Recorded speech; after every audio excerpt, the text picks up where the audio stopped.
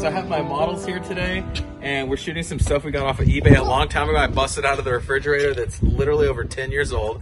Some Polaroid film, guys. This is real Polaroid stuff. We're going to shoot it on this Oh, camera yeah. right here. This is This is a uh, press camera from Mamiya. I believe it's from the 70s or 60s. I don't even know.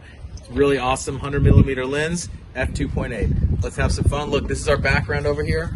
You can see these cool ridges on top of these houses and this awesome fence, and that's going to be our location And we have a great videotaper. and a great videographer right there. All right, all right, so we're gonna get a little bit of a, um, a reading here.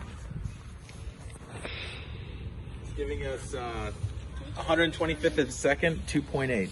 Uh, with with um, so we're gonna shoot it at f4, so we can make it a little bit more darker. Kind of sounds like my name. F. All right, all right, here we go. Ezekiel, good. Come a little bit forward. Who will win the battle? Right there, right there. Good. As long as we need to here, buddy. Relax your face, please. Good. Got it. He shot the cannon. Okay, come in close. Shh. Look, there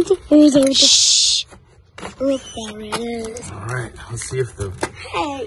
what's it called made it all the way across. Gonna go like this because sometimes the chemicals don't make it all the way across. All right, so let's see how this looks. This is the magic of Polaroid right here. Ready? Going for an underexposed look. Look at that puppy. It's freezing.